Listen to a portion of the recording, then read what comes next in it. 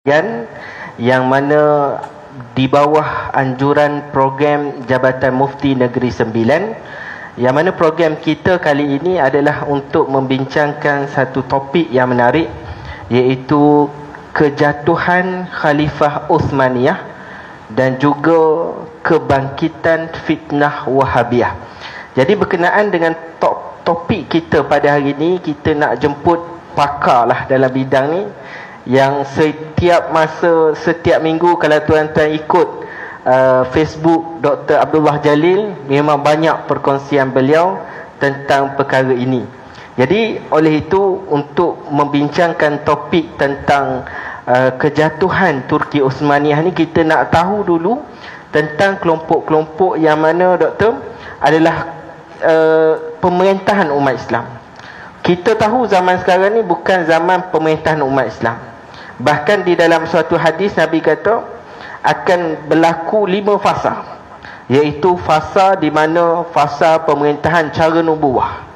Iaitulah fasa Nabi SAW dan juga kemudiannya para sahabat. Lepas tu fasa di mana pemerintahan mengikut cara nubuah. Iaitu Khulafa Ar-Rashidin yang mana masanya lebih kurang 30 tahun. Selepas Ar-Rashidin Sayyidina Ali diletakkan jawatannya. Naiklah satu kekhalifahan yang terkenal Iaitu Kerajaan Umayyah. Kerajaan Umayyah ini telah memerintah daripada 661 Masihi Hingga 750 Masihi. Lebih kurang 89 tahun. Lebih lama daripada Khulafa Ar-Rashidin. Kemudian lahir kemudiannya dinasti ataupun kekhalifahan Abbasiyah yang memerintah sangat lama. Daripada 750 Hijriah eh 750 Masihi sehinggalah 1517 Masihi. 1517 lama doktor. Lepas daripada itu barulah ketika Abbasiyah menyerahkan tapuk kekhalifahan kepada Turki Uthmaniyah. Kalau kita sebut Turki Uthmaniyah ni dalam kepala kita ni adalah Sultan Muhammad Al-Fatih. Sultan Muhammad Al-Fatih masa dia membuka kota Konstantinopel, dia tidak lagi menjadi kekhalifahan umat Islam. Masa tu belum lagi. Kerana apa? Kerana masa tu kerajaan Turki sudah ada tapi belum khalifah kepada umat Islam. Sebab apa? Sebab masa tu masih ada lagi kerajaan Abbasiyah di Mesir. Lepas tu 1517 barulah kekhalifahan itu diserahkan kepada uh, kepada Sultan Salim yang pertama. Sultan Salim yang pertama ni adalah cucu kepada Sultan Muhammad Al-Fatih. Masa diserahkan kekhalifahan inilah barulah Turki Uthmaniyah dianggap dan rasmi sebagai khalifah umat Islam. Lepas itu lama memerintah. Daripada tahun itu dia memerintah sampailah 1924. Dan kita sekarang pada tahun 2024. 100 tahun setelah kejatuhan kekhalifahan Uthmaniyah. Jadi lama, lebih kurang 407 tahun Turki Uthmaniyah menaungi umat Islam. Jadi dalam tempoh ini sebenarnya ada pengkhianatan-pengkhianatan yang berlaku dalam umat Islam, doktor. Kita tahu ada uh, revolusi Arab yang memberontak. Asalnya dia gubernur kepada Hijaz. Dia memberontak, dia nak jadi Sultan Hijaz. Kemudian ada juga muncul yang dipanggil sebagai kerajaan Saudi. Bukan yang sekarang, bukan yang sekarang. Yang sekarang ni adalah kelompok yang ketiga ataupun orang kata sebagai kerajaan yang ketiga. Pasalnya kerajaan yang pertama dulu adalah diasaskan pada 1744. Diasaskan 1744 hingga 1818. Lebih kurang empat raja mereka. Jadi bila diasaskan Masa inilah muncul dua watak Yang pertama Ibn Sa'ud Yang kedua namanya adalah Muhammad bin Abdul Wahab Masa ni kerajaan Saudi yang pertama Mula-mula dia daripada Riau, daripada uh, Najat. Najat nanti doktor akan cerita. Daripada Najat, maka dia pun mula merebak. Mula nak menakluk dua tanah haram. Masa itulah kerajaan Turki Uthmaniyah menentang, mengutuskan seorang yang terkenal namanya Muhammad Ali Pasha yang dikenali sebagai bapa Mesir moden pergi berlawan dan jatuhlah kerajaan Saudi yang pertama lalu tak lama kemudian bangkit kerajaan Saudi yang kedua. Pada zaman Sultan Mahmud yang kedua. Kemudian kerajaan ini jatuh oleh kerana ada penentangan daripada kerajaan Ar-Rashid. Kemudian lepas pada jatuh itu barulah bangkit kerajaan Saudi yang ketiga pada tahun lebih awal. Kalau kita tengok lebih awal pada tahun 1902 1902 yang mana ketika itu seorang lelaki yang bernama Abdul Aziz bin Ibn Abdul Rahman Ibn Faisal, Faisal Ibn Turki As-Sa'ud telah memulakan gerakannya. Daripada tempat dia dia mula merebakkan menyebarkan ajarannya pemikirannya dan juga kerajaannya. Dia mula meluaskan kerajaannya. Bila luaskan kerajaannya masa itulah dia mula menjajah kembali tanah-tanah yang dia pernah claim dahulu. Daripada Saudi pertama Saudi kedua. So Saudi ketiga ni dia baru start.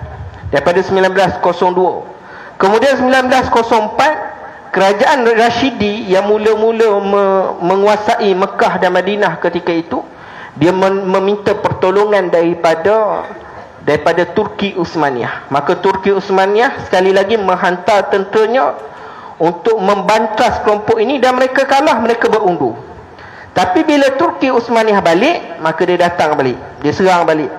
Bila dia serang balik menyebabkan kekalahan berlaku kepada kelompok Rashidi pada tahun 1912 kelompok yang mula-mula memegang tanah haram ini 1912 jatuh.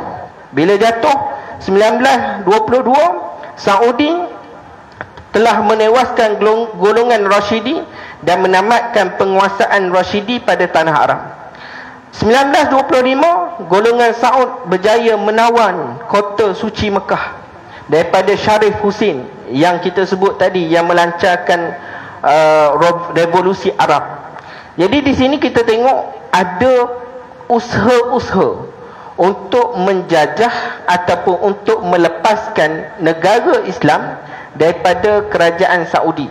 Ha, daripada Turki. Ha, so Saudi inilah yang mula-mula daripada awal lagi sampai dia tiga kali dia bangkit dan yang ketiga inilah yang yang berjaya.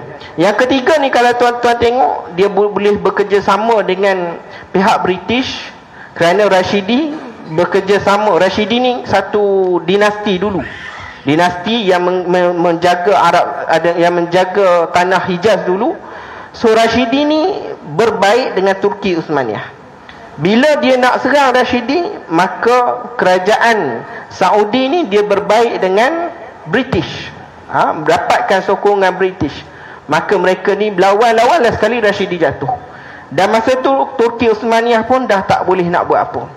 Jadi ini yang kita nak sebut daripada lama dulu 409 tahun Turki Uthmaniyah berjaya menaungi umat Islam.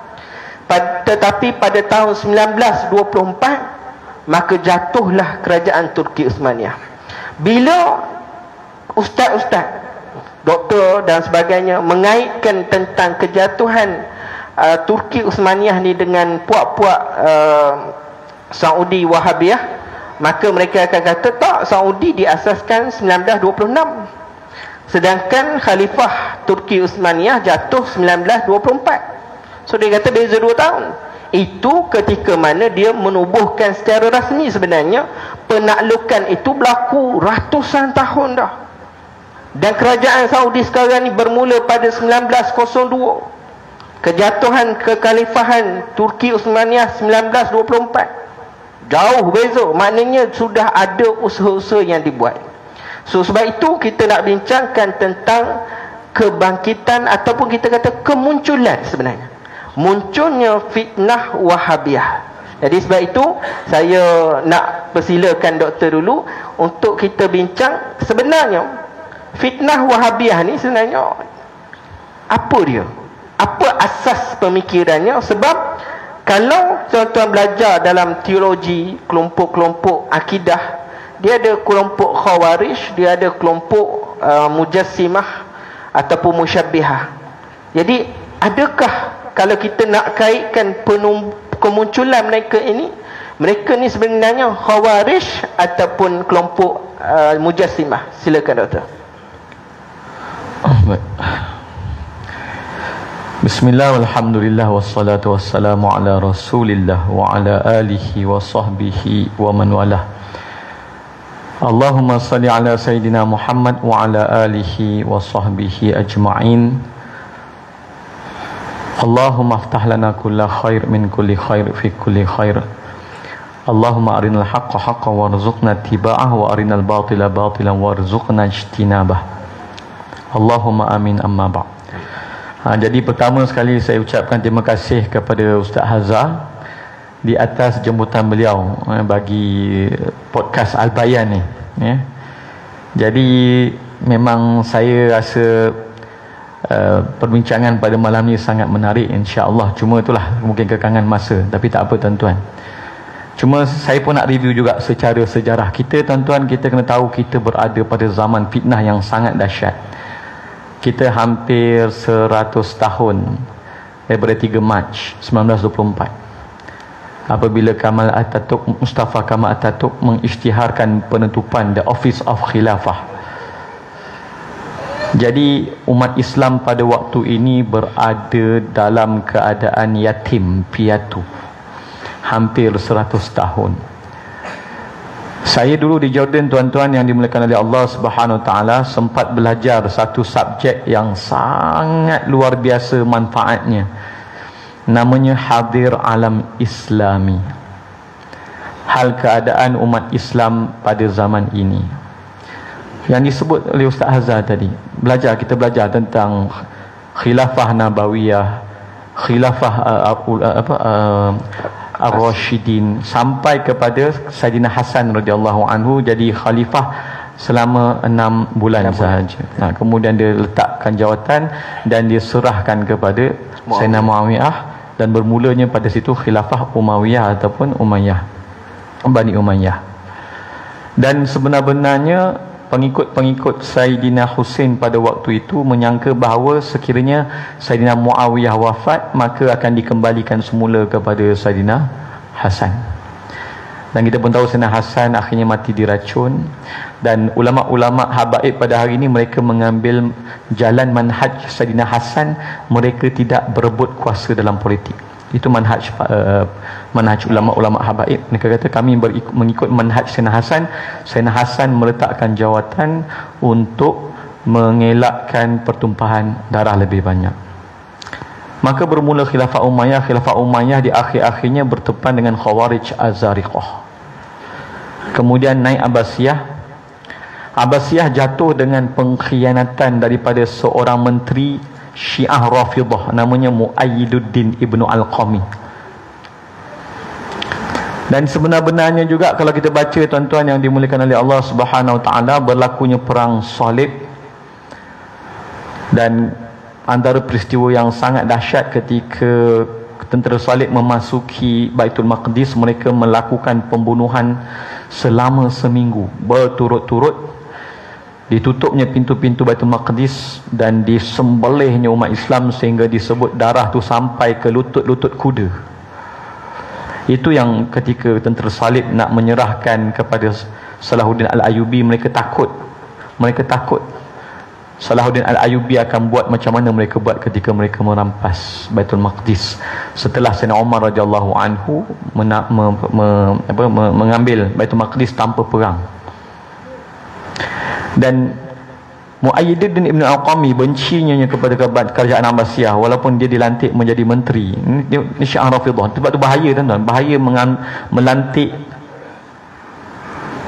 pemimpin yang membenci rakyat. Yang membenci ahli sunnah wal jamaah. Bahaya sangat. Kami belajar dulu ketika Muayyiduddin Ibn Al-Qami nak melemahkan sempadan Abbasiyah yang asalnya ada 100 ribu orang tentera dikurang-kurang jadi tinggal 10 ribu orang tentera. Lepas tu dia ambil seorang budak dia cukur kepala dia tulis surat kepada Holago. Holaku lah cucu kepada Genghis Khan. Okey, masa telah untuk menyerang telah tiba. Sempadan telah dilemahkan. Lalu budak ini disimpan sehingga rambutnya tumbuh. Barulah dibawa oleh utusannya berjumpa dengan Mogol tentera Mongol tentera Mongol dapat surat ini setelah dicukur kepala. Mereka mula menyerang. Dan tuan-tuan pun tahu bila mereka masuk Abbasiyah sangat dahsyat kekejaman yang mereka lakukan. Antaranya ketika mereka memenjarakan khalifah pada waktu tersebut mereka sembelih anak-anaknya yang masih kecil buat sup apa hidangkan kepada khalifah mak ketika mereka lapar mereka ambil emas mereka campak dalam penjara makanlah emas ni yang kau simpan-simpan ni. Akhirnya mereka beramai-ramai dibawa ke padang dan disembelih beramai-ramai. Tentera Mongol mula marah pada waktu tu orang Hijaz semua ketakutan kerana mereka bila membunuh mereka biarkan mayat tu berlimpangan sehingga bau busuk tu sampai ke tanah Hijaz. Orang Islam dalam keadaan ketakutan. Akhirnya tentera Mogul bertemu dengan Sultan Muzaffar Qutus daripada Mesir di peperangan Ain Jalut. Itu pun ada banyak lagi kisah peperangan Qadisiyah, pembukaan pembukaan apa? Pembukaan uh, Parsi, pembukaan Rom, pembukaan Mesir. Memang orang belajar. Peperangan Salib, kemudian kejatuhan Abbasiyah dengan pengkhianatan daripada seorang menteri Syiah Rafidah ini Mogol masuk umat Islam masa itu dah sangat ketakutan sehinggalah peperangan Ain Jalut yang mula menghentikan fitnah Mong Mongol ni tuan-tuan kalau tidak Mongol ni warna ada. Kemudian yang Allah jadikan sepupu Holago sepupu Holaku dalam bahasa Arab disebut Holaku masuk Islam. Maka tersebarlah Islam di negara Tan-Tan-Tan negara Mongol tu. Dan kemudian berlaku kejatuhan Andalusnya kemudian berlaku kejatuhan Empire Mogul Indianya. Dan yang tak kami baca ialah kejatuhan uh, apa kita panggil kerajaan Melayu di Nusantara di Champa jatuh di Thailand jatuh di Filipina jatuh ini saya balik ke Malaysia baru saya sempat belajar mana benda tu? Uh, sebut dalam kuliah Jordan, Jordan tak belajar, ah, tak belajar okay. tu. Nah, yang pembunuhan raja-raja Aceh okay. uh, oleh komunis apa Indonesia semua berkait dengan semua, tentera salib? Ya yeah, semua berkait dengan gerakan. Sebab kami belajar dulu ketika Raja Philip yang ketujuh ke berapa dia lepas di penjara di Mesir dia memang buat surat. Dia kata umat Islam tidak boleh diperangi dengan senjata. Memang tak akan menang. Uh-huh. sebab tu kata guru saya tentera salib uh, peperangan salib terhenti lebih kurang 300 tahun. Dan mereka merancang merancang merancang. Sebab tu kali kedua mereka datang yeah. menjajah mereka membawa ajaran sesat. Ha, mereka mendud, menud, apa, menubuhkan ajaran-ajaran sesat terutamanya British. Hmm. terutamanya British. Jadi tuan-tuan yang dimuliakan oleh Allah Subhanahu Wa Taala nak, nak cerita panjang ni betul saya kena nota sebab dari tahun-tahun nak kena baca. Tarikh-tarikh dia tu nak kena baca. Cuma saya boleh bagi memang kita dalam keadaan yang sangat lemah kerana sistem khilafah telah dijatuhkan. Dan kita akan cerita sedikit bagaimana nak jatuhkan sikit. Um, pertama sekali tuan-tuan yang dimuliakan oleh Allah subhanahu ta'ala memang gerakan Zionis yang nak mengembalikan Yahudi ke Baitul Maqdis dan menjadikan pusat pemerintahan mereka di Baitul Maqdis di, di Palestin sekarang ni mereka tahu mereka tak akan boleh kalahkan khilafah Uthmaniyah uh, mereka uh, mereka tak akan boleh tak maaf mereka tak akan boleh mendapatkan Baitul Maqdis Palestin tu sehingga khilafah Uthmaniyah dijatuhkan Bahkan kalau kita baca dalam memoir-memoir Hansford eh, sebab British ni dia ada Ministry of Commonwealth. Dalam Ministry of Commonwealth ni dia ada orang-orang orientalis. Ha, sebab tu kalau tuan-tuan baca sebahagian pengkaji mengatakan ditubuhkannya Oxford apa semua ni adalah untuk mengkaji strategi bagaimana nak mempengaruhi orang-orang Arab orientalis ni yang mengkaji khususnya yang mengaji daripada Oxford tu ha, kemunculan orientalis kemunculan orientalis, orientalis. ya, yang, yang betul-betul mengkaji. Ya. Ha. jadi sebab tu kalau kita baca dalam Memoirs of Hansford bila dia berlakon jadi orang Islam apa, apa uh, masuk ke Turki dan dia duduk dengan bapa angkat dan sebagainya. Dia kata uh, apa kita panggil macam mana sebuah pulau yang kecil British nak menjatuhkan Turki Osmania? Hmm. Turki Osmania besar. Macam mana British yang kecil ni nak jatuhkan? Sebab tu kalau kita baca tuan-tuan yang dimakan oleh Allah taala memang di akhir-akhir khilafah Turki Osmania Sultan Abdul Hamid II tu memang dia telah ditawarkan supaya Zionis tawarkan dia untuk membayar seluruh hutang Turki Osmania. Dan kami belajar lagi tentang bagaimana mereka menjatuhkan sistem kewangan Turki Osmania. Apabila mereka menarik semua duit-duit dirham, perak daripada market untuk supaya apa kita panggil Turki Osmania berubah kepada sistem wang yang lain macam-macam lagi lah. Itu bab ekonomi bab lain. Tapi mereka memang pernah menawarkan kepada Sultan Abdul Hamid II untuk membayar hutang keseluruhan Turki Osmania. Tapi kata Sultan Abdul Hamid II, satu jengkal bumi bumi apa? Palestin. Palestin ni Baitul Maqdis pun satu aku takkan bagi pada kamu. Tapi kaya dia boleh bagi bayar semua hutang. Betul Ustaz. Uh, ya, tapi di, mereka bergerak ke arah situ sebab tu tak hairan mereka bergerak menggunakan negara British hmm. dan kemudian US. Ni Freemason, ni gerakan Freemason. Jadi dan mereka tahu mereka takkan boleh menubuhkan negara Israel sehingga memastikan tidak akan ada kebangkitan khilafah. Hmm. Ha, sebab tu nanti kita akan cerita bila mereka tak dapat nak jatuhkan nak beli nak nak uh, uh, Baitul Maqdis daripada Sultan Abdul Hamid II mereka mula membuat kita panggil gerakan dalaman. Satu meniup nasionalisme Arab. Yeah. satu lagi meniup nasionalisme Turki. Jadi pada waktu itu mereka mencari watak ni kata guru kami mereka mencari watak siapakah yang nak mengekang kebangkitan khilafah di Turki Osmania dan mereka nampak Kamal Atatürk. Di dalam daripada dalam sebab tu kalau kita baca sejarah kisah dia Kamal Atatürk ni dulu digelar sebagai Khalid Al-Walid Arab ini semua naratif ni semua naratif Lepas tu bila bagi berperang, lepas tu tentera-tentera berundur. Jadi orang Turki anggap Kamal Tatuk ni macam pemimpin baru dalam uh, Turki. Padahal dialah yang sekularkan negara Turki. Dia nak ubah imej orang ha. Islam daripada khalifah kepada seorang sosok baru. Ya. Dengan Dan, dengan larinya tentera-tentera kafir. Betul. Dan dia pastikan British nak pastikan pertama Baitul Maqdis dapat kepada mereka. Yeah. Kedua, pusat Turki Osmania, khilafah Turki Osmania itu dikekang supaya oleh fahaman sekularisme. Dan ada kisah-kisah bagaimana mereka menaikkan Kak Mustafa Kamal Tatuk dan mereka pastikan pusat haji umat Islam yang sepatutnya boleh dibang, digunakan untuk menyatu padu umat Islam dikekang oleh golongan Khawarij ekstrim.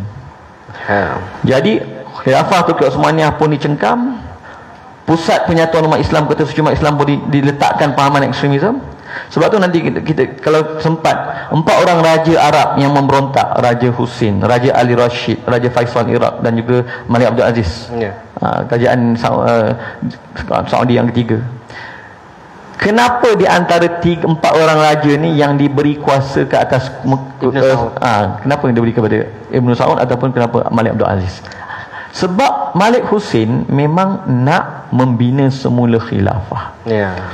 Ha, jadi semua saya cerita pada yang sejarah Wahabi ni. Jadi tuan-tuan yang dimuliakan oleh Allah Subhanahu Wa Taala, kita pun tahu, okey, sebelum saya cerita lagi. Antara tempat yang digunakan oleh British untuk menjatuhkan uh, kerajaan khilafah Osmania adalah ketika berlaku Arab Revolt ataupun Saurah Arabiah pemberontakan Arab yang di sertai oleh empat orang raja Arab ni bekerjasama dengan British General Edmund Allenby. Dia yang cucuk.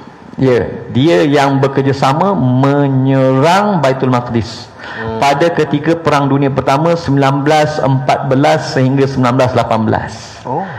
General Allenby berjaya ataupun tentera British dengan bantuan empat orang raja yang mengkhianati ini telah berjaya merampas semula Uh, meram, bukan merampas, merampas Baitul Maqdis dan pada tahun 1917 bila General Edmund Allenby ataupun General Allenby ni pada tengah perang dunia pertama ni pada waktu tu Turki Osmania bersama dengan blok Jerman. Mas bila mereka dapat menguasai uh, British pada uh, Baitul Maqdis pada 1917 mereka siapa nama tu? Balfour Declaration hantar surat kepada Rothschild. Ya. Zionis siap sedia program untuk kedatangan Yahudi ke Baitul Maqdis akan bermula. Ini Bel Balfour Declaration tahun 1917, akhir bulan, akhir tahun 1917. Asalnya empat pemerintahan Islam bersama British Ya. merampas Baitul Maqdis daripada Turki. Daripada Turki Osmania. Tetapi yang buat perjanjian tu orang kafir. Ah, perjanjian Balfour. ya betul. Yang buat kat belakang tu British dengan Zionis. Masa tu Syarif Hussein, Malik Hussein, dia anggap bahawa itu di bawah dia. Ya, betul. Sebab sebenar-benarnya hubung sebenarnya itulah sebenar-benarnya hubungan antara Turki Osmania dengan Hashimiyah ni bagus. Ya. Sebab tu Turki Osmaniyah tidak menyingkirkan Hashimiyah Hmm. Syarif Hussein daripada uh, daripada apa kita panggil daripada penguasaan ke atas. Mekah dan, Mekah dan Madinah. Jadi bila habis perang dunia pertama, bila Tur- Turki Osmaniyah dikalahkan, maka dinaikkan Mustafa Kemal Atatürk. Mustafa Kemal Atatürk kata, "Okey, jom kita mulakan program reformasi pembaharuan Turki moden." Jadi mula-mula sekali dia kata tidak ada lagi khilafah, ada office of khilafah. Hmm. Dan kemudian dia kata bab uh, uh, khilafah Osmaniyah ni hanya bab agama. Akhirnya dia isytiharkan penutupan khilafah 1924. Bila mendengar office of khilafah ini telah ditutup, maka Syarif Hussein pada waktu tu isytihar dia sebagai khalifah yang baru.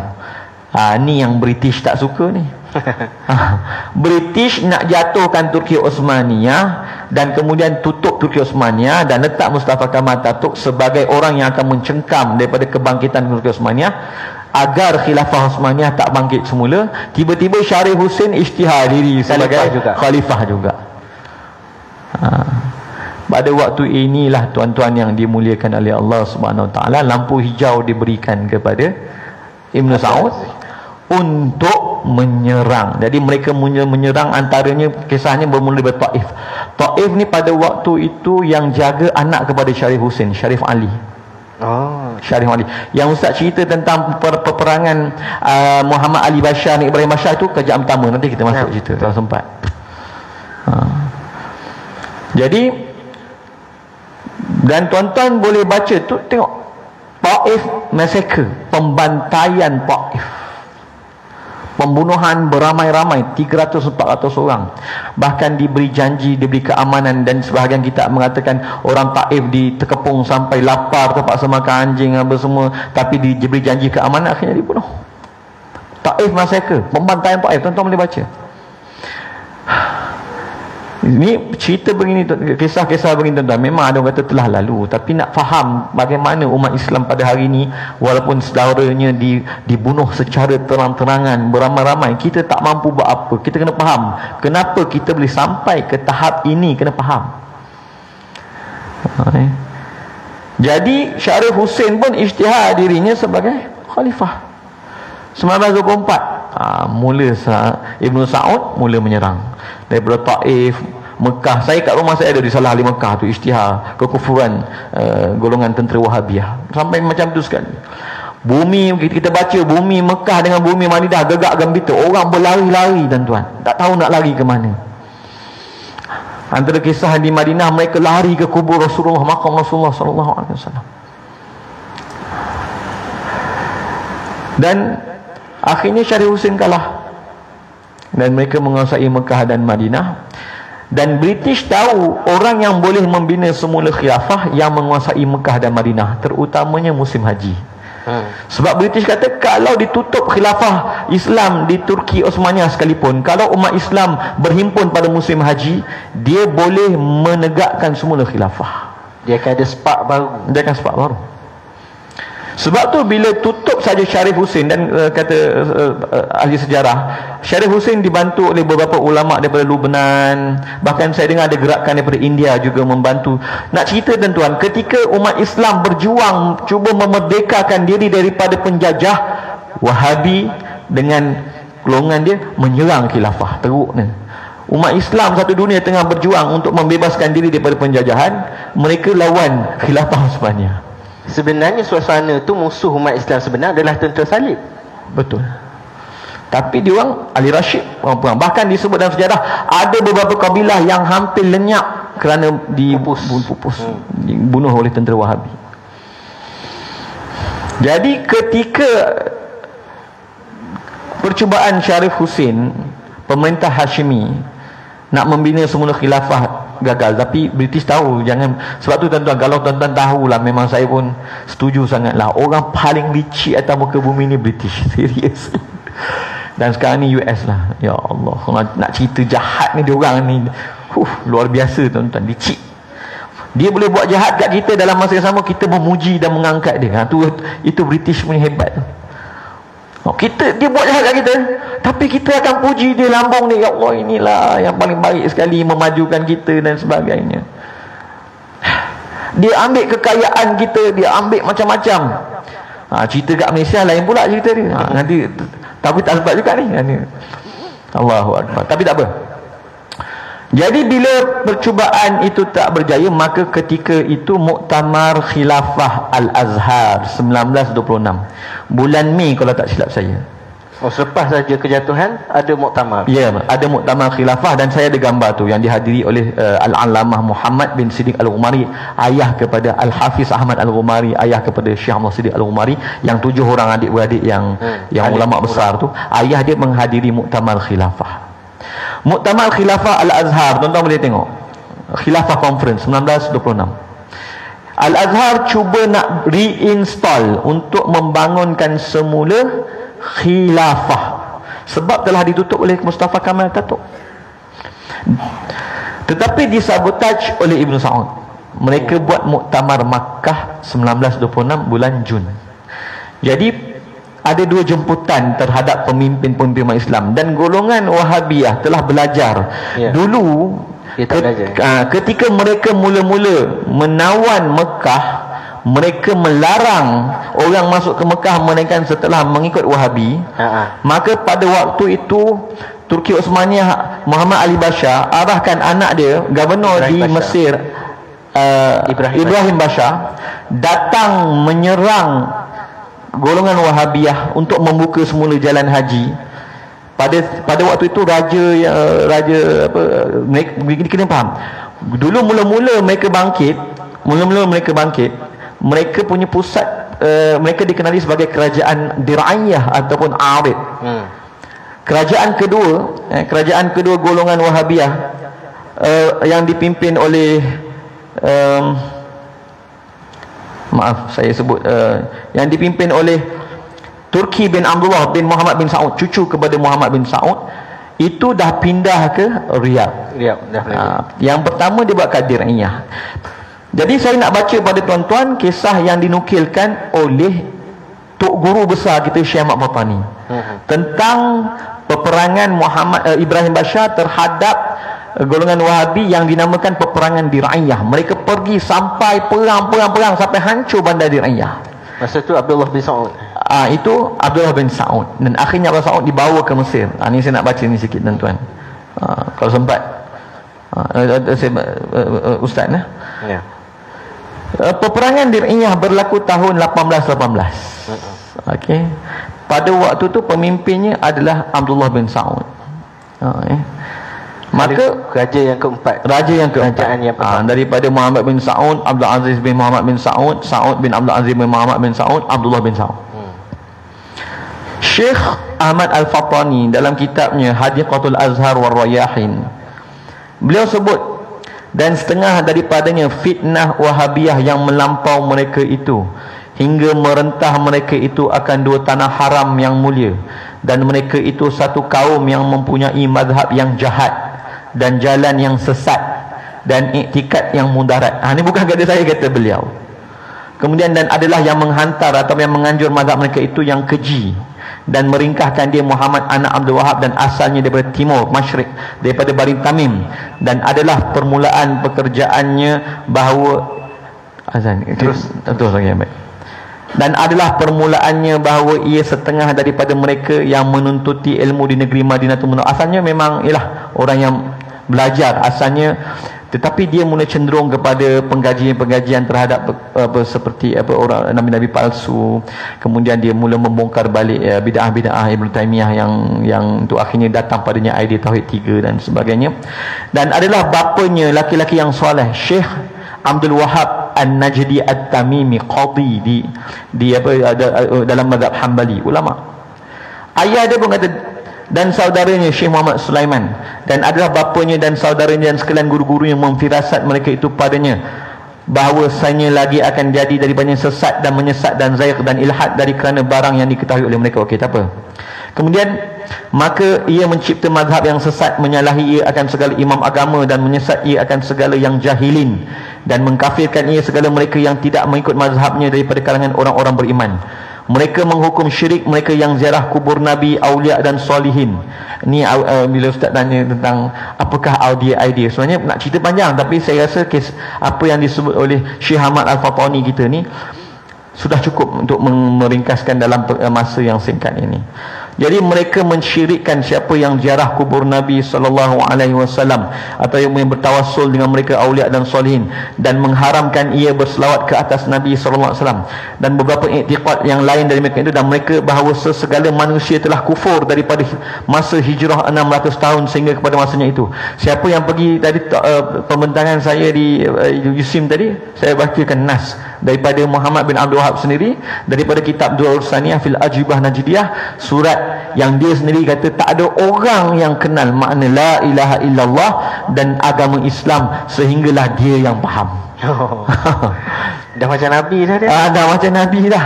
Dia kata dia apa guru-guru dia ulama-ulama arid ulama-ulama dekat kawasan tempat kerajaan dia tak ada orang yang kenal.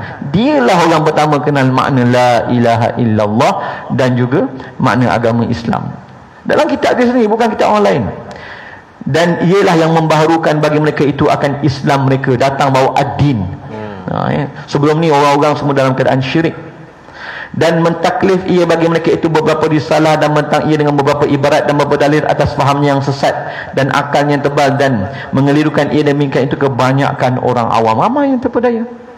Dan saya dah cerita bagaimana bila dia berhijrah ke Diyani asalnya dia buat perjanjian pertama dengan pemerintah Uyainah. Hmm. akhirnya bertelingkah akhirnya dia berhijrah. Tapi ada pengikut dia yang datang membunuh. Hmm. pemerintah Uyainah yang dia buat perjanjian pertama.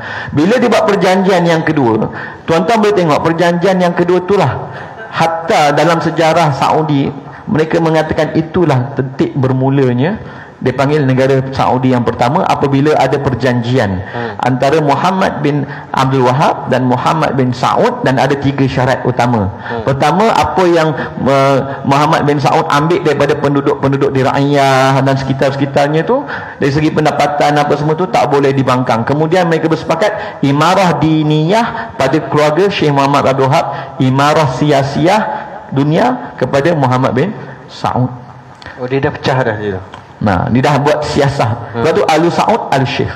Hmm. Ha, Alu Saud, Alu Syekh. Alu Saud, keluarga Saud. Alu hmm. Syekh, keluarga Syekh Muhammad yeah. Doha. Kalau kita Alu Alu Nabi sallallahu alaihi wasallam wa Ali Sayyidina Ibrahim.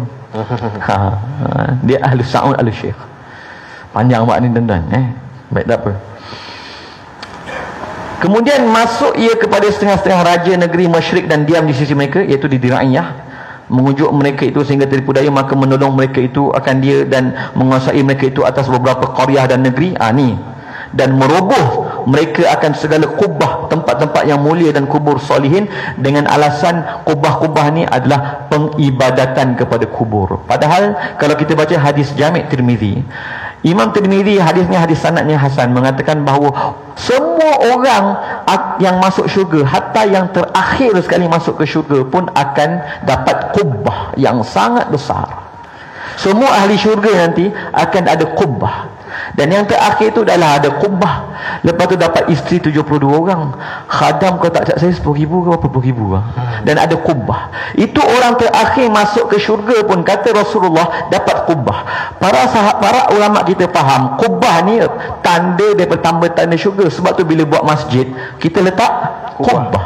walaupun masjid Rasulullah tak ada kubah Tapi kenapa dibuat kubah? Kerana siapa yang belajar ilmu hadis, siapa yang belajar hadis, dia akan tahu bahawa dalam kisah Isra Mi'raj Rasulullah cerita banyak kubah dekat uh, Sungai Kausar dan Rasulullah cerita kubah ni binaan untuk setiap ahli syurga. Maka sebab tu ulama kita bila buat masjid buat kubah. Dan mereka juga membina kubah di atas makam-makam para ulama kita dan makam-makam yang disebut sebagai makam para nabi. Bahkan mereka membuat kubah juga di atas telaga-telaga Rasulullah. Hmm. Sebab apa? Sebab taman dia bertaman-taman syurga. Bukan buat kubah tu menyembah penduduk kubur. Bukan. Dan kau nak cerita panjang lagi dulu sebenarnya mereka nak musnahkan kubatul khadra tu bahkan ada ketah kerja saya pernah baca tuan-tuan dan saya pernah download tapi tak jumpa dah lama dah. Apa nama doktor tu Shibli ke apa Shibli? Dia juga yang mengarangkan kesalahan-kesalahan akidah Ibnu Hajar Asqalani. Dia kata dalam pembinaan Masjid Nabawi sekarang ni ada unsur Nasrani. Hmm. Sebab tu Albani dalam cerita dia tentang ahkam sajid tentang dia cadangkan supaya dipisahkan makam Rasulullah tu daripada Masjid Nabawi. Iaitu jangan buat dinding yang sama. Jangan buat dinding yang sama antara Masjid Rasulullah dengan makam Rasulullah sallallahu alaihi wasallam. Dia suruh buat dua dinding sebab dia kata ini dah kira memasukkan masjid dalam kubur dan sebahagian ulama-ulama Wahabi tak nak sembahyang dalam Masjid Nabawi kerana mereka, mereka kata Masjid Nabawi sekarang ni telah dimasukkan kubur ke dalamnya. Masya-Allah. Ha, banyak lagi. Senang dia orang punya pemikiran tu sangat dahsyat. Dia nak kaitkan macam mana doktor? Daripada awal kita kata sebenarnya Ibnu Saud dia cuba nak membentuk kerajaan dia sendiri. So apa kaitan dengan Wahabi sebenarnya? Dia panggil soft power. Soft power. Hmm yang berinteraksi dengan golongan British keluarga Ali Saud. Okey. Yang membawa naratif membawa tauhid memerangi syirik itu Syekh Muhammad bin Wahab dan orang-orang yang mengikut ajarannya. Jadi mereka ada dua wajah lah. Jadi wajah untuk dia pergi bunuh orang Taif tu? Wal iazubillah kalau kita baca kisah saya ada baca buat kajian dan tuan disebut yang men, uh, yang mula mem, mem, mem, apa, uh, uh, golongan Wahabi, golongan uh, uh, uh, uh, Ibn Saud ni, dialah yang mem, mem, menghubungi British. Uh-huh. Dan berlaku kemasukan secara besar-besaran senjata British ke Hijaz. Uh. Dan mereka menggunakan senjata British untuk memerangi uh, umat Islam yang lain. Dan antara yang masyhur General Williams uh, General uh, nama general ni saya, tengok. Sebab saya pun ada buat kajian tentang uh, tentang prinsip-prinsip British yang dikaitkan. Antaranya saya sebutlah beberapa nama eh. Uh, Hansford Lawrence di Arabia Sumatera di Arabia lah paling masyhur sekali.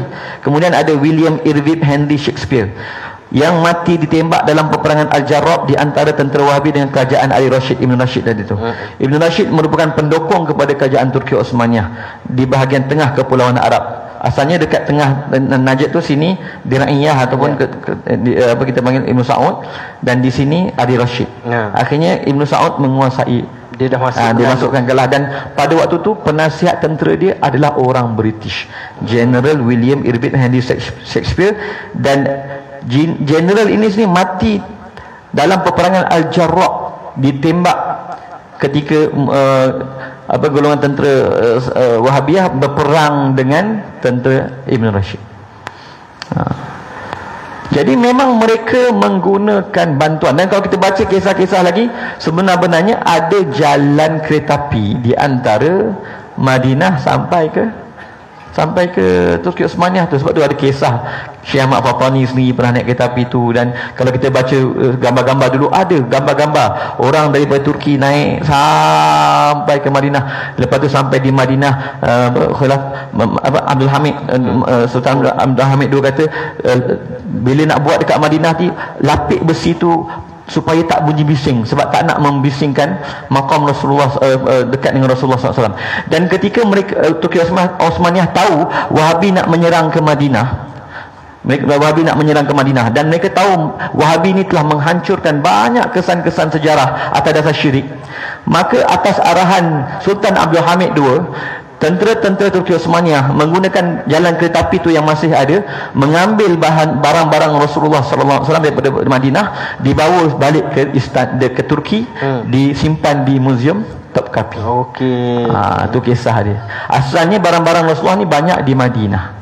Tapi Turki Osmaniyah tarik balik bawa bagi ke Turki, uh, ke Turki sebab mereka tahu golongan ini apabila masuk akan memusnahkan kesan-kesan. Tuan-tuan boleh tengok apa yang berlaku dekat Mali ketika Ansaruddin, Ansaruddin ni Al-Qaeda jugalah, Salafi Jihadi juga berperang dengan kerajaan Mali. Kerajaan Mali ni majoriti umat Islam tentera-tentera Asaduddin ni apabila masuk ke apa kita panggil apa yang seperti mana yang berlaku di, di, di, di ketika mereka menawan ulama-ulama Mekah dulu bila mereka meninggal dunia mereka akan wakafkan kitab mereka di maktabah dekat Mekah dan dia sebut maktabah tersebut telah dibakar dan hanya sebahagian saja yang sempat diselamatkan yang masih ditahkik pada hari ini siapa yang bakar?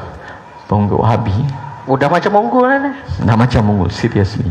Ansaruddin buat benda sama. Okay. ISIS pun duk korek kubur, bom kubur. Yang ada kubah, kubur Nabi Nuh yang semua mereka bom. Eh kubur Nabi Yunus, hmm. bom mereka bom.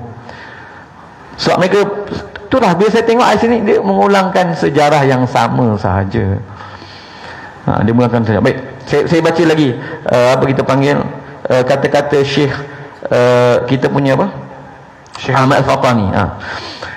Dan mereka itu ha, meroboh mereka itu akan segala kubah tempat yang mulia-mulia dan kubur solihin. Ha, sebab sedangkan pada saat pada pandangan saya bila saya buat kajian ya, sebenar-benarnya kubur para ulama ni sanat dan bukti. Cuba tuan-tuan bayang kalau kita tak tahu kubur Rasulullah kat mana ibarat macam zaman sekarang ni orang Melayu tak tahu kubur hang tuah. Apa berlaku? Khilaf. Hang tuah ni wujud tak wujud dah tak jadi fakta dia hanya disebut sebagai hikayat hmm. cerita-cerita rakyat. Tak ada bukti. Bayangkan kalau ulama-ulama Islam tak ada kubur hancur habis semua. Kita baca tentang Imam Syafi'i yang khatam Al-Quran sehari sekali mana kubur dia? Entah orang pun tak tahu. Ni cerita dongeng ke hikayat ke cerita apa ni?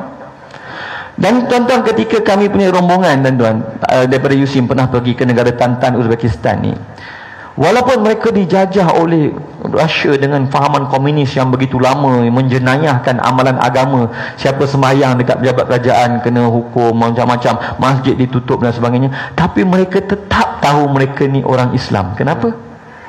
sebab ada kubur-kubur para ulama dan kubur-kubur datuk mereka walaupun mereka dijajah dengan begitu teruk oleh Rusia tapi nasib baik Rusia ni tak jenis tak hancurkan kubur Nasib baik orang Rusia ni Rusia ni tak berapa nak pandai sangat ha, eh. Kalau dia faham Dia ratakan habis kubur Imam Bukhari ke Imam-imam apa ke Sampai orang tak kenal bahawa mereka warisan Islam ha, Mungkin masa tu jadi komunis pure Tapi Mengikut Uh, mengikut uh, orang uh, uh, Yusim yang pergi ziarah ke sana dia kata kami ni dia kata kami kenal kami orang Islam ni hmm.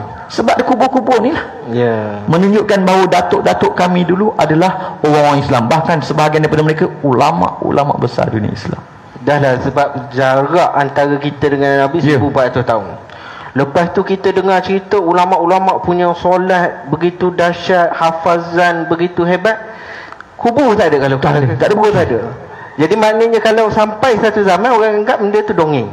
Sama seperti kita meng, mengidolakan hantuah tapi hantuah tu masih khilaf. Kubur dia. Yang paling kelakar sekali bila orang kata hang tu ah. Hang nama Cina pula. Ah, bukan orang Melayu. bukan Melayu.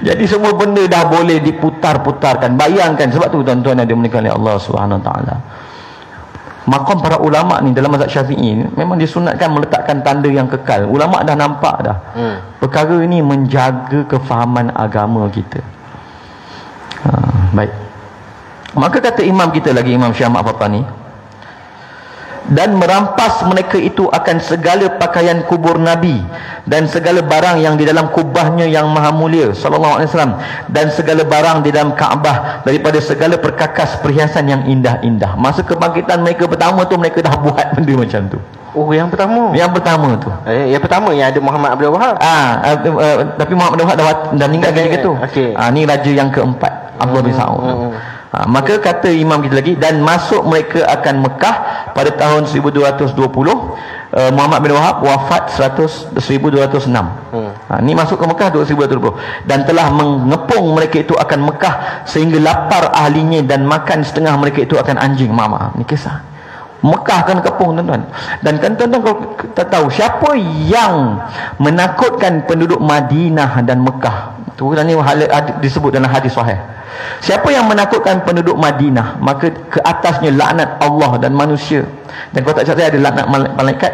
La yaqbalullahu minhu sarfan wala adla. Allah tak akan terima amalan fardu dan amalan sunat. Orang yang menakutkan penduduk Mekah dan Madinah apatah lagi yang mengkafirkan dan membunuh?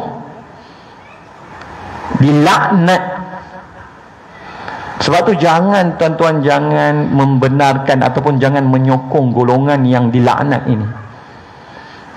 Mereka me, me, me, me, menumpahkan darah banyak umat Islam seperti mana yang disebut oleh ulama kita dan sampai kisah kisah lapar ahli Mekah dan maka setengah mereka itu makan anjing. Kemudian masuk mereka itu dan dia merentah mereka itu padanya tujuh tahun memerintah Mekah pada tujuh tahun itu yang berlaku musim tergendala musim haji.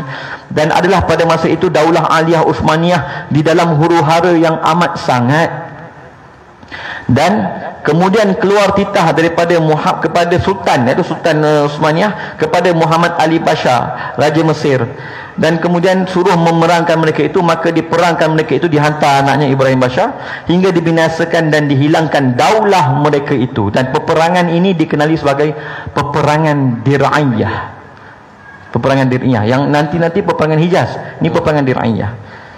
Dan ditawankan raja mereka itu yang bernama Abdullah bin Saud dan beberapa perdana menterinya dan dibawakan mereka itu ke Mesir kemudian ke Istanbul maka diarakkan dan kemudian dibunuhkan mereka itu dia kemudian atas dasar itu yang berlaku. Jadi masa tu dia sekat orang datang haji ya yeah.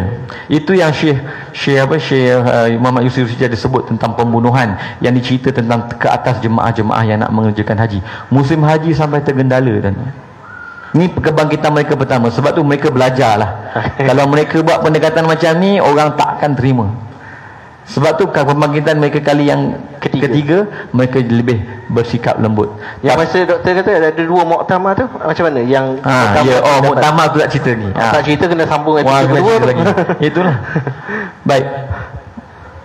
Macam kita sebut, bila Syarif Hussein isytihar khilafah, maka Ibn Sa'ud diberi lampu hijau untuk menyerang dan merampas bahagian eh, bahagian Hijaz. Di Hijaz, Najd eh, Najd belah sini dirinya dengan Ali Rashid, dia dah dapat Ali Rashid. Dan kemudian bila dapat lampu hijau tu dia orang serang dan dia mula menguasai Hijaz macam kita sebut. Akhirnya usaha untuk membina semula khilafah tak, tak, tak dapat Muktamar Azhar nak buat bulan Mei 1926 dan pada masa yang sama Ibnu Saud buat Malik Aziz buat Muktamar Mekah Jun 1926 sebulan selepas. Sebulan selepas. Dan kata Syekh Muhammad Imam Hussein sebab dia mengkaji PhD dia asalnya tentang OIC Muktamar Mekah tidak ada agenda membina semula khilafah. Oh, dia bincang apa? dia hanya membincangkan ana khadimul haramain. Oh, okey. Ha, dia cuma menyatakan bahawa ini adalah bawah jagaan saya. Mm-hmm. Dan daripada Muktamar Mekah 1926 itulah ditubuhkan OIC. Oh. Ha, dia tak bina semula khilafah. Dan memang pada waktu itu walaupun 1926 kita kena faham Israel ditubuhkan 1948. Jadi British tahu memang bila nak jatuhkan Turki Osmania dan kekang pusat penyatuan umat Islam ini tak boleh isytihar lagi tak boleh isytihar lagi apa Baitul Maqdis. Sebab kalau isytihar oh, umat Islam akan bangkit. Hmm. umat Islam akan bangkit. Sebab tu tuan-tuan kalau kita tengok dia dia bila dia bagi Balfour Declaration orang Saudi, orang Yahudi mula sedikit-sedikit berpindah. Dan waktu kami belajar dulu orang Yahudi yang datang ke Palestin pada waktu itu Palestin kaya waktu tu. Hmm. Dan orang Yahudi pada waktu itu mula membeli tanah-tanah di Palestin. Dan kata guru kami, beberapa orang ulama Palestin mengata, uh, buat fatwa pada waktu itu haram jual tanah kepada Yahudi. Tapi Yahudi pada waktu itu membeli dengan harga yang sangat tinggi. Teliu orang Oh, berlipat kali ganda. Ha, sebab tu bab cerita fiqah tanah ni, tanah ni dia dia panggil aset strategik. Aset yang ada kepentingan jangka masa panjang. Baik. Kemudian negara umat Islam tidak dimerdekakan. Jadi macam mana nak pastikan umat Islam ini tidak menyatu semula maka diguna model nation state. Model negara bangsa. Hmm. Dan kalau tuan-tuan tengok kisah yang panjang juga bagaimana sovereignty telah ditarik daripada Allah dan Rasul kepada kebangsaan. Hmm.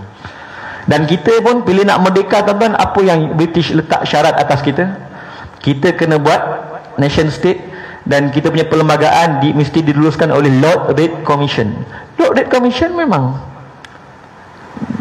apa kita panggil golongan-golongan apa Freemason dan Zionis yang berpakatan tersebut. Tapi nasib baik ada hakim, saya lupa Hakim Abdul Murad ke Hakim Abdul Hakim, saya lupa. Apabila dia baca cadangan kita tu, akhirnya dia cadangkan supaya diletakkan dalam perlembagaan kita tu agama Islam sebagai agama persekutuan. Hmm. Ha, tu selamat tu. Sebab tu Malaysia ni walaupun di di di apa di uh, dimerdekakan dalam model nation state, tapi alhamdulillah kita berjaya mengekalkan sistem raja yang menjadi ketua agama dan kita berjaya meletakkan dalam perlembagaan agama Islam agama persekutuan. Ha, ini memberi kuasa banyak kepada kita dan banyak menyelamatkan umat Islam di Malaysia dengan ada peruntukan ini. Negara-negara lain yang dimerdekakan tak dapat peruntukan ini tuan-tuan. Sekular semua. Sekular pure. Dia sebenarnya kalau kita tengok sebenarnya uh, dia punya model ni kalau hmm. kita tengok dalam negara kita sendiri sebenarnya dasar pecah perintah. Betul. Kau ni buat ni, kau ni bangga dengan kerja dia sendiri, dia tak ada persatuan penyatuan sebenarnya. Dan negara dan Islam secara umumnya dia guna konsep yang sama. So apa yang kamu banggakan? Bangsa kamu negara kamu. Sebab itu zaman Turki Osmania zaman Turki Osmania Turki Osmania adalah bayang-bayang kuasa paling besar tamu ke bumi. Bagaimana mereka nak pastikan supaya tak naik? Mereka buat PBB Oh. PBB beri kuasa veto dengan kuasa veto kita pun tahu mereka melindungi Israel yang akan dibina selepas itu. Hmm. So PBB kalau tak salah saya 1945 cuba saya mak balik.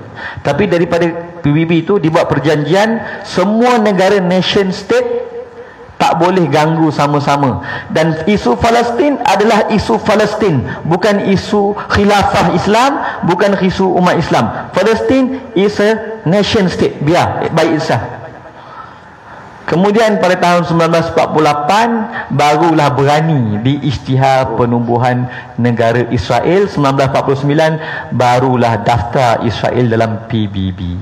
Oh cantik dia buat 1945 PBB 1948 baru tu isytihar penubuhan negara Israel. Oh 1949 baru daftar. Baru dah masuk ahli PBB. Masya-Allah. Perancangan ha. yang strategik. Sebenarnya kalau kaji tuan-tuan ya Allah sebenarnya la haula wala quwata illa billahil aliyil azim. Umat Islam memang dipecah-pecahkan dan memang tak akan lepas tu belum cerita dia letak sistem riba lagi. Sistem riba ni menundukkan kita di bawah sistem dia. Hmm. susah nak bangkit tuan-tuan. La haula wala quwata illa billah. Sebab tu bila saya kaji tentang hadis kotologi kita pelik kenapa Imam Mahdi tapi jangan terpengaruh sangat dengan golongan-golongan JI ni selapi-selapi ni. Takut silap faham juga. Jangan jangan jangan. Hmm. Cuma maknanya bila kita baca kenapa Imam Mahdi nanti akan melancarkan jihad. Sebab memang mereka nak mengekang kita, mereka berperang, berperang. Ber nak melepaskan diri daripada cengkaman ni itu juga yang akan berlaku di akhir zaman. Sebab tu tanda kebangkitan ataupun kemunculan Imam Mahdi itu dia ada tanda dia. Ada. Jadi tanda itulah yang mengesahkan ini Imam Mahdi Barulah ketaatan yang Nabi suruh tu kepada Imam Mahdi hmm, Sekarang ni yang kelompok-kelompok yang teroris ni muncul Tak ada tanda-tanda tapi terus melakukan terorisme yeah. Tapi mereka pakai bendera hitam. Tadi saya terangkan. Mereka Salafi Jihadi ni suka pakai bendera hitam Al-Qaeda sebab ada hadis bendera panji-panji hitam tu ha. yang akan membantu Imam Mahdi. So dia orang kononnya ni tentera Mahdi lah. Padahal Khawarij akhir zaman. tu panggil Khawarij. Saya tak bawa pula kitab Sidqul Khabar fi uh, apa? Uh, Allahumma salli ala sayyidina Muhammad.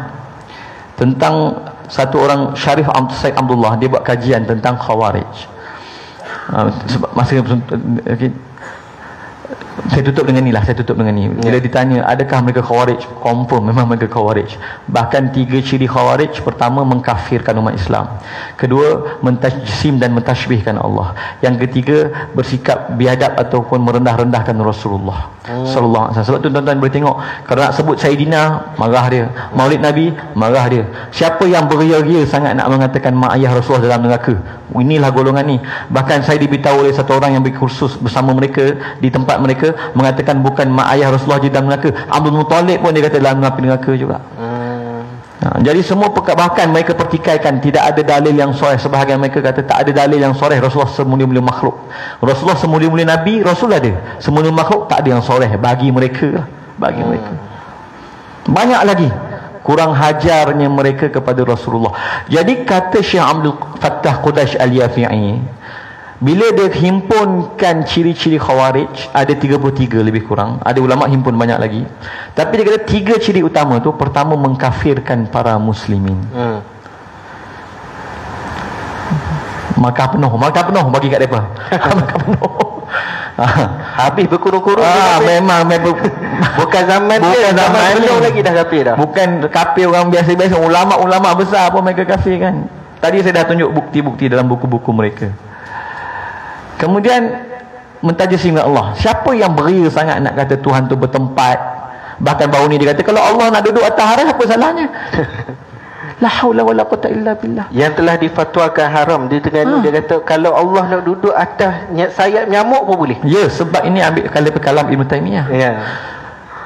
mereka nak kata arash tu sebesar-besar makhluk Allah boleh duduk kalau sayap nyamuk yang sekecil-kecil tempat tu pun Allah boleh duduk juga wal iyazu billah Yang terbaru ni doktor, wal iyazu billah Allah ada ruh daripada zatnya yang dia tiupkan masuk ke dalam jasad. Inna manusia. lillah itu dah mirip kepada batiniyah bahkan mirip kepada Nasrani. Wal iyazu billah. Baik. Panjang nak cerita tak sempat nak cerita ni tuan-tuan dia panggil kaedah istihalatul mustahilat memustahilkan yang mustahil. Hmm. Ataupun saya cerita sikit je Ustaz eh? Ya, Sikit-sikit nak cerita. Bila Rasulullah kata Khawarij Yang akan muncul bersama Dajjal Khawarij ni di antara akidah mereka Mentajisimkan Allah. Yang akan mengikut Dajjal Yahudi dan Nasrani Kita tak heran Sebab memang konsep ketuhanan mereka Macam orang Macam Ya. orang. Kami belajar dulu tuan-tuan. Yahudi kata Allah bergaduh dengan Nabi Yaakob kat dalam syurga. Yang menang Nabi Yaakob. Ini dalam kitab Talmud mereka Lepas tu Nabi Yaakob kata Aku nak kau hapuskan semua umat-umat yang lain Lepas tu Kata Allah yang kalah tu uh, Tak apalah kita biarlah Mereka tu menjadi hamba anak-anak kamu Hmm, tu yang pandai lekeh Ah tu. tu yang pandang lekeh tu antaranya. Tapi memang Nasrani pun begitu juga. Tuhan memang macam orang. Khawarij mentajisimkan Allah. Itu yang kita bayar bila dia kata kalau Allah nak duduk boleh duduk, kalau Allah nak begini begini. Dia tak memustahilkan apa yang mustahil bagi Allah. Ya. Walaupun kita kalau kita dalam majlis sifat 20 kita ada bab ta'aluk sifat kudrat. Sifat Allah Maha berkuasa tak termasuk perkara mustahil, tak ta'aluk dengan perkara mustahil. Allah tak termasuk kudratnya itu menjadikan baginya anak ataupun menjadikan baginya isteri ataupun pergi duduk atas sayap nyamuk tak ada ulama asyad asyad asli sunnah jamaah tak pernah mengajar akidah sebegitu Bersih dah. bersih yang saya risau nanti bila Dajjal mengaku sebagai Tuhan Hmm. macam mana ada orang boleh terima Dajjal ni Tuhan di kalangan umat Islam Hmm. nanti datang sampai satu pemikiran nanti Allah kalau nak menjelma jadi manusia Allah Maha jelma. berkuasa wa na'udzubillah wa Dia ada kuasa. wa na'udzubillah tu Sebab Rasulullah kalau kita tengok orang Islam tidak ada satu bentuk gambaran kepada Allah Taala. Tapi bila Dajjal muncul dengan satu sosok ni, ada juga orang, orang Islam Islam yang berbeza. ikut khawarij Khawarij. mujassimah Hmm. Jadi memang tiga ciri ini mengkafirkan muslimin, mentajisimkan Allah dan bersikap merendah-rendahkan Rasulullah ni sangat wujud pada golongan Wahabiyah. Sebab itulah kata Syed Syarif Abdullah mereka ni khawarij kurun yang ke-12. Khawarij kurun awal mengkafirkan orang yang melakukan maksiat besar, dosa besar Ya. Dan meng- mengkafirkan orang yang mereka tuduh tak berhukum dengan hukum Allah. Khawarij yang zaman sekarang ni mengkafirkan perkara-perkara sunat. Bak tawasul kafir, bak istighosah kafir. Ah, eh. Dia, dia sebelum kita dah Ah, habis ah, Prof, baik. eh, Doktor. Betul. Cuma saya nak satu lagi ciri-ciri khawarij yang saya saya baca lah. Betul. Adalah khawarij ni dia meninggalkan orang kafir Betul. tetapi memusuhi berperang dengan orang Islam. Ini hadis sahih Bukhari. Ya. Yaqtuluna ahlal Islam wa yad'una ubadatal awsan. Jadi berdasarkan kajian doktor daripada khawarij awal kurun sampai ke sekarang adakah semuanya memenuhi ciri-ciri? Ha. Kalau bukan kat Syarif kata golongan Khawarij Nahrawan ataupun Khawarij yang pertama sekali yang mengkhianati Sayyidina Ali radhiyallahu anhu asalnya dia tentera Sayyidina Ali. Ya. Kemudian dia bila Sayyidina Ali tubuh majlis tahkim, dia mengkafirkan Sayyidina Ali dan semua yang terlibat dalam majlis tahkim dan mereka keluar daripada Kufah pergi ke Harura. Jadi mereka ni di- dikenali sebagai Khawarij Haruriyah. Dan oleh kerana mereka mengkafirkan Sayyidina Ali kerana alasan Sayyidina Ali tidak membuat uh, melaksanakan hukum Allah ataupun menyerahkan hukum kepada majlis tahkim manusia, mereka dikenali sebagai Khawarij Muhakkimah. Hmm. Dan oleh kerana mereka berperang dengan Sayyidina Ali di Nahrawan, mereka juga dikenali sebagai Khawarij Nahrawan. Individu sama, musamma Ha, sama. Kumpulan yang sama. Okey. Nak cerita sebenarnya ada dalam Rasulullah tapi tak, tak sempat tak sempat. Tak sempat. Tapi maknanya kata Syed Syarif Abdullah golongan Khawarij Nahrawan ini pernah dicatatkan mereka pernah berperang dengan orang kafir Parsi. Oh pernah. Ha, pernah. Okey. Ha, pernah. Mereka pernah berperang dengan orang kafir Parsi sebab mereka pernah menjadi tentera Islam yang membuka Parsi. Ah. Cuma bila Abdullah bin Sabak datang dan beberapa orang zindik dan munafik mula menyerap masuk dia ada kisah-kisah dia mereka buat fitnah pergaduh dan sebagainya ha, itu satulah tapi uh, apa kita panggil golongan wahabi tidak pernah tertulis bagi mereka berperang dengan umat selain daripada umat Islam yang mereka kafirkan Berhadapan pun tak pernah. Cuma akhir-akhir ini sahaja mereka cuba buat adalah bantuan-bantuan sedikit dan sebagainya. Tapi memang sebab itulah disebut Wahabi ni banyak tanda daripada hadis Rasulullah. Tak pernah berperang dengan mana-mana penyembah berhala. Semua yang mereka serang adalah umat Islam yang mereka kafirkan. Wasimahum tahliq. Hmm, tanda-tanda. Tanda mereka bercukur dan kata Mufti Zabid Hmm. Syed Muhammad Abdul Rahman Al-Hadal tidak ada ahli bid'ah yang bersifat sebegini selain daripada Wahabi. Tak perlu karang kitab untuk men- menolak Wahabi cukup dengan hadis sahih yang mengatakan simahun tahlik khawarij. Cuma yang saya nak tutup dengan uh, Ustaz nah, sebab ni. Hmm. nak tutup begini tuan-tuan. Rasulullah dah sebut khawarij ni susah sangat nak bertaubat. Susah sangat nak bertaubat. Yakhrujuna minad din thumma la ya'uduna fi yakhrujuna minad din kasami minar ramiyah thumma la ya'uduna fi dan Rasulullah kata hudathaul asnan sufahaul as ahlam. Orang-orang muda kebanyakannya. Sufahaul ahlam ni orang bodoh. Maksudnya orang yang menyangka dia bijak tapi sebenarnya bodoh. Berwabidah. ha wa ibad yaquluna min qawli khairil bariyah. Baca hadis. Wa yaqra'una al-Quran thumma la wa la yujawizu hanajirahum. Baca Quran baca hadis.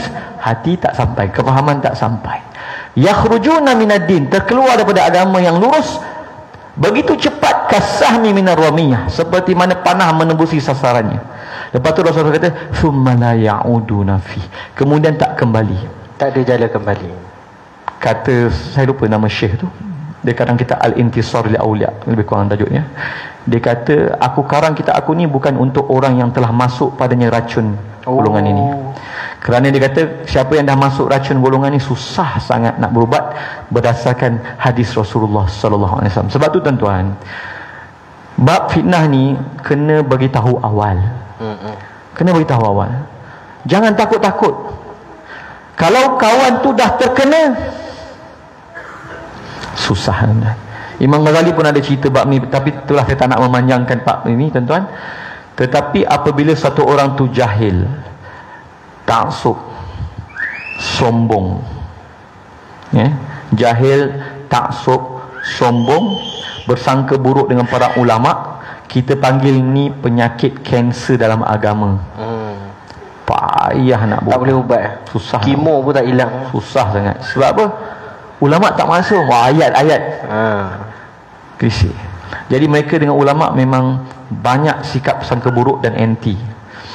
Ha, jadi saya tak bawa lah uh, perkara ni. Tapi memang hati-hati kalau dah terkena memang susah nak berubah. Sebab tu ketika syubhat itu datang tolak awal-awal. Itulah sedikit minta maaf ustaz. Ya ya boleh boleh Assalamualaikum warahmatullahi wabarakatuh. Hari ini ada bukan satu golongan mengatakan bahawa satu golongan ni khawarij. Tadi tak kaitkan dengan negara kita kan? Jadi adakah ya ya khawarij Ya. Bismillah walhamdulillah Allahumma Allahumma salli ala sayyidina Muhammad Allahumma hidayatan li shawab. Saya ya, di sini ustaz. Pertama kita ahli sunnah jamaah macam kita sebut jangan cepat menuduh itu satu. Tetapi pemerintah Islam perlu menjaga umat Islam daripada fitnah yang ada. Maka perlu keluar fatwa Ini syiah Ini liberal Ini anti hadis Ini uh, khawarij Ini wahabi Perlu Untuk menyelamatkan umat Islam jadi orang yang terpengaruh dengan ajaran-ajaran sesat ni dia tak sama level. Ada level bau-bau, bau panas. Ada yang dah tegar, ada yang berani menzahirkan, ada yang taqiyah, ada macam-macam. Kita kena hati-hati apabila ciri-ciri ajaran sesat tu ada pada diri hati-hati. Jadi kalau fitnah takfir di Malaysia ni ada banyak punca. Saya buat kajian tapi memang sebenarnya benda ni very sensitive. Sangat sensitif. Ha, dia ada yang saya sebut je ada yang meloncat ni ada abung, abumbung ni. ha, eh. Tetapi jangan mendekati fitnah takfir mengkafir sesama muslimin. Ini ciri khawarij. Yang pertama, kalau baca kitab Yaqut Nafis, ciri khawarij satu je dia sebut. Mengkafirkan umat Islam. Walaupun ada banyak tapi dia sebut satu je. Sebab this is the main criteria ni ciri paling utama. Mengkafirkan umat Islam. Jangan mati dalam keadaan kita mengkafirkan orang lain. Jangan. Jangan. Kita mati dengan iktikad begitu kita mati sebagai seorang khawarij. Bertemu dengan Allah sebagai seorang khawarij. khawarij. Wal billah. Sebab tu ahli sunnah jamaah disebut kalau ada 99 sebab orang tu boleh jatuh kufur. Satu sebab je. Boleh kita kata dia beriman. Kita ahli sunnah akan ambil satu tu. Golongan wahabi 99 sebab. Ada khawarij 99 sebab ada kita boleh kata untuk beriman. Satu sebab dia nampak syubhat boleh kafir. Mereka kafir kamu Ha, jadi hati-hati jauhi fitnah kafir mengkafir ini. Takut-takut wa iyazubillah. Nak tak cerita panjang tak sempat ni. Nanti maknanya ini fitnah yang sangat berbahaya. Siapa yang mengkafirkan umat Islam yang lain dengan cara yang tidak sepatutnya ataupun yang tidak selayaknya memang jelas. Wa iyazubillah. Dia benih-benih itu dah ada. Ya benih-benih dah ada. Benih itu dah ada. Cuma khawarij di ya. Malaysia yeah. ni dia tidak membentuk lagi. Yeah, tak terbentuk lagi Berbeza kita tengok di Lubnan, di Iraq, di Syria, dia dah ada satu pakatan. So dia ada kekuatan yang menunjukkan inilah Khawarij. Tetapi di Malaysia masih aman walaupun kita berada dalam mantiki mereka. Tetapi maksudnya kalau kita kata benih-benih tu ada tersebar. Ada. Tapi kalau kita kata inilah orangnya Khawarij, belum cukup syarat lagi. Benih ada tak pada dia? Ada pada dia.